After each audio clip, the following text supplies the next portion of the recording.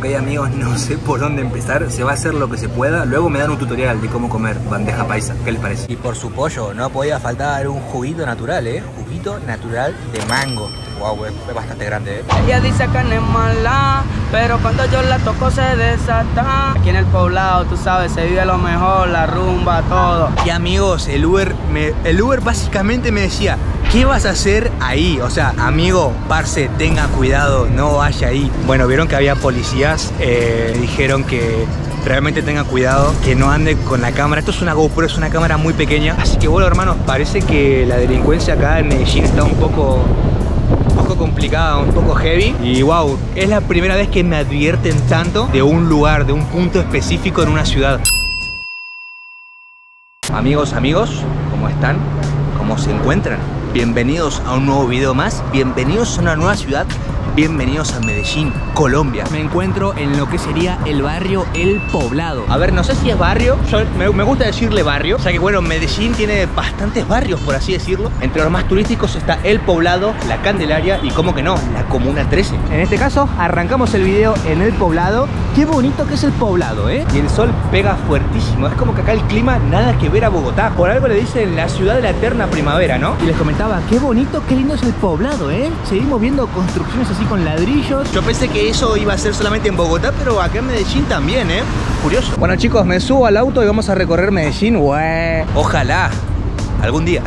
Igual yo estoy más para esta, ¿eh? Esta me gusta más. Amigos, miren, aprecien un poquito lo que sería la plaza de El Poblado o Parque El Poblado, no me queda claro, ahí se lo dejo escrito. Acá se respira un ambiente, como diríamos en Argentina, un poco más cheto, como dirían en México, un poco más fresa. ¿Cómo, cómo le dicen en Colombia como a la gente más elegante, más fancy? Les digo, en Argentina le decimos chetos, en México le dicen fresas. ¿Cómo le dicen en Colombia? Me tengo esa duda. Pero antes de continuar con el video, amigos, bueno, bueno, bueno, ¿dónde estás? Nicolás ahora. En los siguientes videos de este canal se van a dar cuenta dónde. Vamos a lo que vinimos. Creo que muchos estamos de acuerdo con que tener una segunda fuente de ingresos es vital. Es vitalicio. Entonces me estuve informando un toque. Tengo la compu acá. Y me encontré con un corredor llamado RoboForex. Llamó mi atención porque tiene bastantes herramientas y cuenta, bueno, con un programa de afiliados. Está muy bueno. ¿Cómo funciona el programa de afiliados? Pues bueno, seguramente habrán escuchado esas palabras, programa de afiliados, y algunos seguramente se habrán unido. Entonces, para generar ingresos del programa de afiliados desde RoboForex, atrae clientes hacia la plataforma desde cualquier lado, desde cualquier medio, no sé, redes sociales, WhatsApp, palmas mensajeras, señales de humo. Y cuando un usuario se una a RoboForex y comience a realizar operaciones, vos vas a poder recibir una comisión de afiliados y seguirás recibiendo, bueno, mientras las personas que vayas trayendo sigan operando en RoboForex. Hablando un poco más de RoboForex, paga hasta el 84% de su propio beneficio como comisión y también el dinero se deposita diariamente. La empresa es muy conocida, lleva más de una década en el mercado, así que bueno, si quieren probar RoboForex, les dejo el link en la descripción, como siempre. Y no se preocupen porque tienen soporte 24 horas los 7 días a la semana, así que si tienen una duda, ahí está el soporte de RoboForex.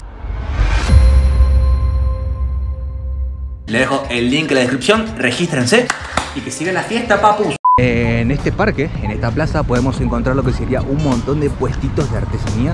Acá pueden comprar lo que serían los recuerditos, pueden comprar cosas típicas de la zona. Que por cierto, hablando de recuerditos, ya me compré mi pulserita de Colombia. ¿Cómo que no, parce? Y acá, chicos, se pueden encontrar un montón de personas extranjeras. A ver, que esto me hace acordar mucho a lo que sería Salento, que la mayoría eran personas de otros países, incluido yo, obviamente, ¿no? Esta creo que es la avenida 10, es una avenida bastante transitada y bueno, nada, acá tenés transportes públicos, tenés taxis, tenés de todo. Movilidad en el poblado no te va a faltar, así que no te preocupes. Creo que la zona rosa, tal como dicen, es aquella, o sea, es todo para ahí donde están los restaurantes, discotecas, bares. O no sé si mismo ya estoy en la zona rosa, no me queda claro. Cuando sos turista medio que no agarrás bien la onda, pero bueno, si estoy equivocado, ahí me lo dejan escrito, ¿eh? Ella dice que no es mala, pero cuando yo la toco se desata. En la cama ella es tremenda bellaca. Aquí en el poblado, tú sabes, se vive lo mejor, la rumba, todo. La verdad que es una zona bastante movida y bastante alegre, ¿no? ¿Eh? ¿Cómo la ven? Ok amigos, igual el objetivo de este momento no es precisamente mostrarles el poblado, ya que Medellín tiene bastantes zonas. Lo que sí, el objetivo, lo que tengo acá en la mente ahora mismo es probar la bandeja paisa. Me dijeron, tenés que probar la bandeja paisa en Medellín. En Bogotá no. Eso si vieron los primeros videos se habrán dado cuenta que en Bogotá me dijeron que no pruebe la bandeja paisa porque la hacen fea, la hacen mal, no lo sé. Gente de Colombia, ustedes me sabrán decir por qué. Acá hay como una zona de restaurantes y vamos a ver también cuánto me cuesta una bandeja paisa. Allá en Bogotá, en otros lugares, la bandeja paisa estaba de 20 a 30 mil pesos. Vamos a ver cuánto cuesta una bandeja paisa en el poblado. Literal lo venden en todos lados. Estuve en Armenia de paso, estuve en Pereira de paso, también las vendían. Me aguanté hasta acá, por Dios. Tengo ganas de probar esa bandeja, ese platillo. Así que ahí vamos y veremos cuánto nos cobran.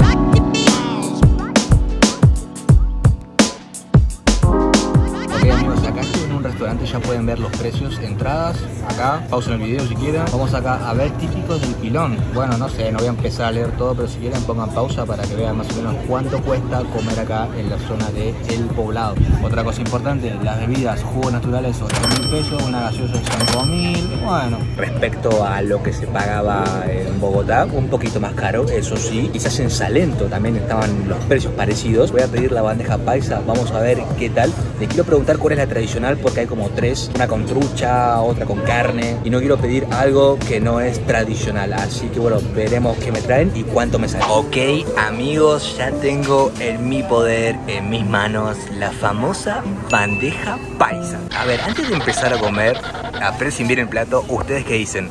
¿Está bien preparada o no? Ustedes saben. Eu, de todos modos, si está mal hecha, no me interesa porque esto se ve, pero como una exquisitez. Esto se ve un plato estrella. Y creo, debo confesar que después de esto, no sé si voy a cenar, ¿eh? Repasemos igual un poco lo que tiene. Por acá tenemos maduro, que sería plátano. Tenemos arroz, tenemos ensaladita, bueno, tomate, aguacate. Nosotros le decimos palta. Tenemos un huevito, tenemos una arepa, tenemos chorizo, tenemos morcilla chicharrón y frijoles. Así que bueno, un like por este argentino que va a probar su primer bandeja paisa y que va a tardar una hora y media en comerla. Wow, esto se ve deli deli, eh. Hey amigos, no sé por dónde empezar, se va a hacer lo que se pueda. Luego me dan un tutorial de cómo comer bandeja paisa. ¿Qué les parece? Es como que quieres comer todo junto y no podés. Lo que sería el maduro, el plátano frito. La verdad bastante rico, no le tenía fe. Unos frijoles, plátano, arepita, No puedo más. Está muy rico esto. Aprobado. Y por su pollo, no podía faltar un juguito natural, ¿eh? Juguito natural de mango. Wow, es bastante grande, ¿eh? Y también para bajarse todo esto necesito mínimo medio litro de jugo o agua. Ok, amigos, creo que la bandeja paisa me ganó la batalla, pero ahí raspando, ¿eh? Casi que me termino todo el plato. Ojito, ¿eh? Casi te gana bandeja paisa. wow, ¿cómo lleno esto? Pancita llena, corazón contento, amigos, como dicen, ¿verdad? Uf, no, no, estoy reventado. Creo que con lo que comí, creo que puedo, no sé, correr una maratón entera sin cansarme, ¿eh? Qué proteínas, papá. Ok, repasemos precios, me van a decir si está bien o si está mal. Ojito con esto que me pareció bastante bien, ¿eh? Para todo lo que era el plato, la bandeja paisa me costó 25 mil pesos y el juguito me costó 8 mil. Gente de Colombia, ustedes me van a decir caro o barato y también si la bandeja paisa estaba bien servida. Por favor, quiero saber eso, no me puedo ir de acá sin saberlo, así que comenten. Y mientras comía la bandeja paisa, también pensaba, ¿será que me dijeron que la como en Medellín por una mera rivalidad entre, no sé, paisas y rolos, entre gente de Bogotá, entre gente de Medellín? Simplemente me dijeron, comelo en Medellín porque te queremos ver comiendo en Medellín, no en Bogotá. Así que yo pienso que es por eso que me dijeron que no lo coma en Bogotá, o sea, da igual. Estaba bastante rico, lo hicieron muy bien y espero que esa sea la auténtica, ¿no?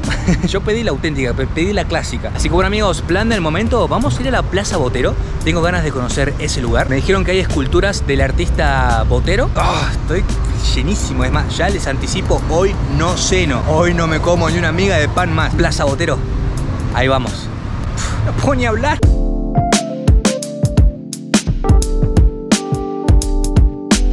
Bueno amigos, estoy en el centro centro de Medellín. No se confundan que el centro de Medellín no es el poblado, sino que el centro es este. Me encuentro en la Plaza Botero y wow, wow, qué cambio amigos. Cómo cambia la onda, cómo cambia la movida. Nada que ver el poblado a esta zona. Me vine en Uber hasta acá porque en transporte público me indicaba que iba a tardar como una hora en llegar, no sé por qué. Con el Uber tardamos 15 minutitos. Y amigos, el Uber, el Uber básicamente me decía, ¿qué vas a hacer ahí. O sea, amigo, parce, tenga cuidado, no vaya ahí. Yo le digo, es que soy turista, quiero conocer, me gustaría ver las esculturas de Fernando Botero. Ah, bueno, sí, está bien, me dices, pero por favor, tenga cuidado. Y a ver, no es por nada, pero la verdad que sí, se siente una zona bastante insegura. La policía puso lo que serían vallas que delimitan lo que sería la plaza con los comercios, con la calle en sí. Entonces en la plaza estoy viendo un montón de turistas, un montón de gente que se saca foto con las esculturas y es como que no hay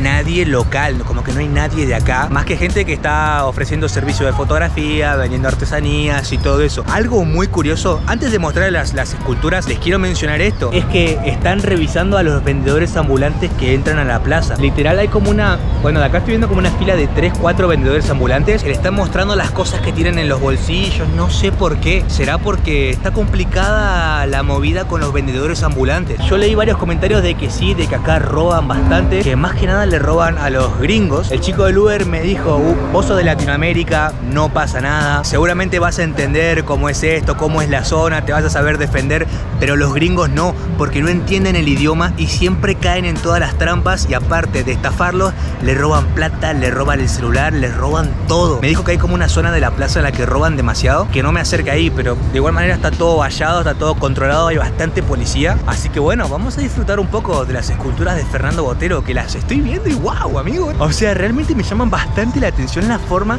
la particularidad que tienen. Qué gran artista, ¿eh? antes de mostrar las esculturas una por una, eh, ¿alguien me puede decir qué es este edificio? Wow, este edificio se ve espectacular. Qué buen edificio, qué bonito, ¿eh? Creo que la escultura que más me gusta es esa de perros. En fin, recorramos un poquito la plaza. Arrancamos el recorrido por acá. Hablando de vallas, estas son las vallas que yo les dije. Es como que delimitan la plaza con lo que sería la zona comercial. Wow, y estas vallas se ve que son nuevas. O sea, tienen el plástico. Es como que es nuevo. ¿Será que lo implementaron hoy o estos días? Creo que esto es como un museo, porque hay mucha gente que está ahí sacando fotos y ahí está como la entrada al metro. ¡Ew! Sáquenme una duda. ¿Bogotá tiene lo que sería servicio de trenes? Eso es lo que me quedó esa duda. Vi mucho Transmilenio, lo que sería el colectivo largo, el bus largo, pero no sé si tenía un servicio de tren. Voy a averiguar eso. Si quieren, escríbanlo en los comentarios. Arrancamos con las esculturas. O sea, miren la particularidad de las formas. Son como formas así como más grandotas, ¿no? Acá tenemos una mujer con el hijo. Acá se empieza a notar más. Miren, tenemos otra mujer con un vestido. Mujer vestida. Ah, miren, y acá está dicho con qué está hecho. Con bronce. ¿Es duro? Ah, no, no, es como que suena hueco. Hay muchísimas esculturas, creo que son 23. No les voy a mostrar las 23 esculturas, pero vamos a dar un recorrido express. Acá tenemos otra escultura. Este es el hombre vestido. Wow, mira esas piernas del hombre vestido, ¿eh? Lo pones a jugar un partido de fútbol, te rompe todo el arco de la potencia. ¿Qué pensaba? Sigamos viendo más esculturas. Miren cómo es el panorama. Es como un panorama más tranquilo. La cantidad de gente que hay fuera del vallado comparado con la gente que hay dentro de la plaza no tiene sentido. Tenemos otra escultura, la mujer reclinada sexy. y acá tenemos la estrella de las esculturas porque todo el mundo se quiere sacar una foto con este perro. Esta también es muy reconocida, la escultura del caballo, la escultura de la mujer con espejo. Wow. Ah, y acá tenemos a un hombre y una mujer enfrentados. Y los dos están como, bueno, como la vida los trajo al mundo, ¿no? Ah, miren, miren, miren. Este es Adán y esta es Eva. Ah, realmente miren lo que es este edificio. Wow, es, es espectacular. Uno de los más lindos que vi en Medellín, ¿eh? Y miren, para que vean el panorama, hay un montón de esculturas. Hay un gatito ahí. Y ahí está el Museo de Antioquia. Que también si vienen para la zona los pueden sumar. Miren esta escultura. Cabeza. Listo, una cabeza, simplemente así. Y donde a uno le sobra de algo, a otro le falta. Esto es una mujer sin cabeza. ¿Qué pasó acá? Wow, miren el tamaño de las piernas, ¿eh? Esto está todo manoseado, ¿te das cuenta? Miren cómo cambia el color. Esto es porque lo manosean todos, ¿verdad? Ok, acá tenemos el hombre caminante. Que, ¿por qué el hombre caminante está encima de otro hombre? No se entiende. Amigo, está bastante pesadito para subirte encima de él. Aparte, miren la cara de sufrido que tiene. Pobre amigo. Hola, buenas. Yo le doy un pequeño saludo, hombre. Saludarlo. Vieron que yo estaba grabando recién la escultura del hombre caminante. Bueno, vieron que había policías. Eh, dijeron que realmente tenga cuidado, que no ande con la cámara. Esto es una GoPro, es una cámara muy pequeña, pero que no ande con esto cuando salga del parque. Que cuando salga de acá de la plaza, hermano, ponga la mochila enfrente suyo, guarde la cámara, guarde el celular para prevenir los hurtos. Y le pregunté, ¿está bastante complicado la zona? Sí, me dice. Y básicamente me lo dijo para que no tenga la culpa yo, o sea, como para que no me regale. Es como que me quiso decir, hermano, si lo roban es culpa de usted, porque ya ve cómo es la zona. Pero nosotros estamos acá para prevenir, así que le decimos esto, por favor tenga cuidado y cuando salga de aquí, guarde bien su cámara y el bolso adelante. Así que bueno, hermanos, parece que la delincuencia acá en Medellín está un poco complicada, un poco heavy, pero como en todas ciudades del mundo, ¿no? O sea, estuve en Argentina, Perú, México y wow, es la primera vez que me advierten tanto de un lugar, de un punto específico en una ciudad. Son zonas bastante complicadas. Lo digo con comillas porque soy turista y la primera vez que vengo, pero se ven que los locales están bastante alerta con eso, están con bastante pilas. No solamente para prevenir robos, sino me dijo, lo dijo con unas palabras muy técnicas, a mí no me va a salir, pero básicamente para no alterar el comportamiento de las personas, que sea precavido. ¿Será porque hay mucha indigencia? O sea, estoy viendo bastante gente que va borracha, que va como en otra realidad y es como que si ven a alguien grabando, como en este caso yo, que me están viendo muchas personas que estoy con una cámara, quizás altere un poquito el estándar de convivencia de la gente local. Así que bueno amigos, yo voy a seguir disfrutando un poco más de la Plaza Botero y apenas salga de la plaza le hago caso al policía y nos vamos para la Comuna 13, porque esto papis todavía sigue, todavía continúa. Comuna 13, let's go, ahí vamos.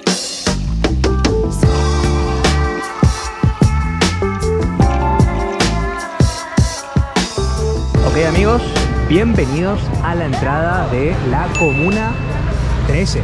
Uf, qué complicado el tráfico acá en Medellín, ¿eh? Se tardó bastante. Eh, uy, por cierto, algo que me pareció muy curioso es que todavía sigo lleno. Comí hace como dos horas y media, tres horas. Son las 5 de la tarde y la verdad no se me antoja merendar nada. Es más, no creo ni que cene. Pero bueno, no es eso a lo que vinimos. Nosotros venimos a visitar la Comuna 13.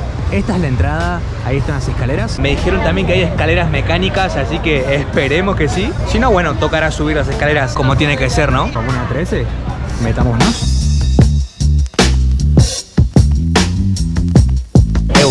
Nota que es un sitio netamente turístico, ¿eh? Todos turistas acá. Muy poca gente local. Wow. Y lo que sí, a simple vista, los grafitis. Qué lindo los grafitis, ¿eh? Hay mucha gente, no se logra apreciar, pero miren lo que son estas obras de arte. ¡Wow! Tenemos un montón de puestos comerciales, así que acá no hace falta nada, papi. Lo que sí, prepárense para caminar, para subir, ¿eh? Está todo en subida. Es muy loco cómo construyeron todo encima de los cerros. A ver, que construir encima de los cerros no es cosa de otro mundo, pero sorprende mucho cuando está todo tan colorido. Es como que llama más la atención. Qué olor a pollo frito que hay. Pollo asado. Ok, amigos, bienvenidos. Escaleras eléctricas para allá. Ah, ¿Y por qué digo, ah, porque qué complicado subir, amigo? Para quien no está acostumbrado, este lo rompe, ¿eh? O sea, no se va a notar por la cámara, por el gran angular, pero miren, miren lo empinado que está. Ah, tengo la bandeja paisa acá. Vamos para las escaleras eléctricas. Miren qué bonita, todas las banderas. ¿Dónde está la Argentina? Ah, ahí está la de la Argentina. Miren cómo frenan los autos con ladrillos. Por las dudas, no se confían en el freno de mano. Ponemos un ladrillo, papi. Qué colorido todo acá. Qué bonita, qué bien. La comuna 13. Vamos a adentrarnos. Lo que sí está lloviendo un poco. Mal ahí, loco. Menos mal que era la ciudad de la eterna primavera, ¿eh? Lluvia. Ahí tenéis. Está lindo el clima.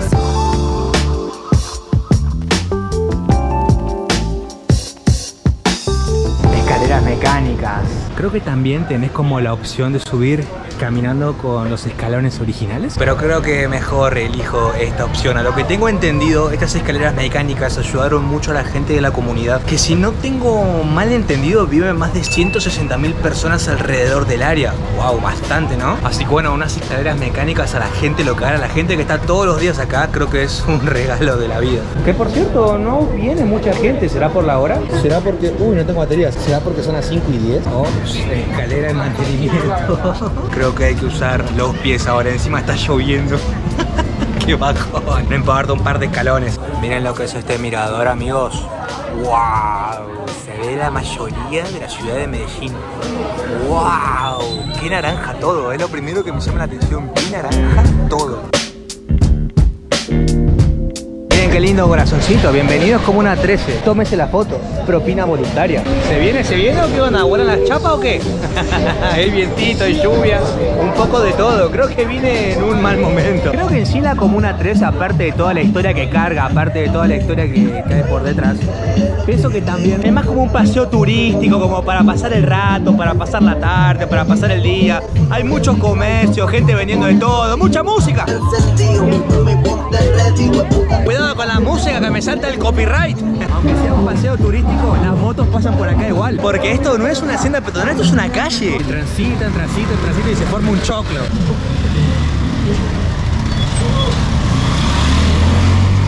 Seguimos vivos. Bendita seas. Miren el altar para la Virgen. Wow, qué colorido, qué bonito. Miren los murales. Una mujer encima de un colibrí. El colibrí es muy representativo acá, ¿eh? Más que nada en la zona de Salento. Esto ya lo vimos.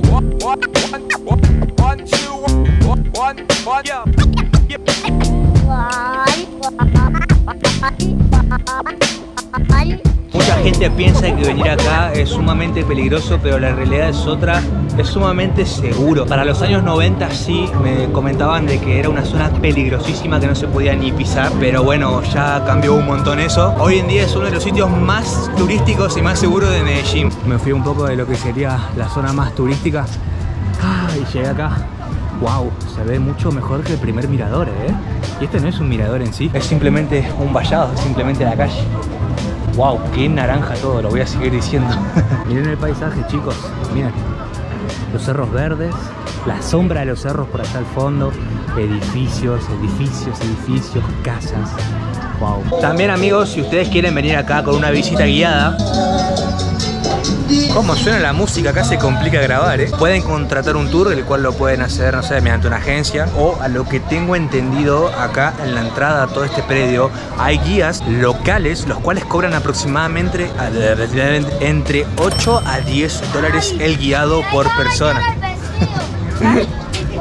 Entonces, si ustedes prefieren venir acá con un tour guiado, ya saben, ahí tienen el dato. Si les cobran más de eso, tienen que incluir más cosas, no solamente el tour en cuentita. Por cierto, amigos, acá también puede venir y cambiar su moneda local. Tengan en cuenta eso, eh, cambian monedas en todos lados, la divisa, mejor dicho. De donde mejor cambio vi fue en Bogotá. Qué lindo la Comuna 13, yo voy a seguir explorando. Me estoy quedando sin batería en la cámara, así que bueno, lo continuaremos luego. Dicho y hecho, me quedé sin batería en la cámara y no pude dar cierre al video. Así que lo cierro yo desde acá, amigos. Espero que les haya gustado el recorrido por Medellín. Creo que mi plato favorito de Colombia es la bandeja paisa, pero por lejos. Tenía que decirlo, perdón. Sé que hay más cosas por hacer en la ciudad, pero hicimos lo básico porque sin dudas a Medellín voy a volver. De todos modos, esto no termina acá. En el siguiente video vamos a estar a dos horas de la ciudad explorando el pueblo de Guatapé. Un pueblo que quedó sumergido sumergido bajo el agua. ¡Wow! Estarán viendo algunas tomas de lo que es ese lugar. Y también visitaremos la grandiosa Piedra del Peñol. No, no, no, no. Terrible el video que se viene. Y además vamos a ver cómo es una casa flotante. Es un videazo, así que no se lo pueden perder, amigos. Les envío un fuerte abrazo y sigan sintonizando este canal, que obviamente hay videos todas las semanas. Adiós.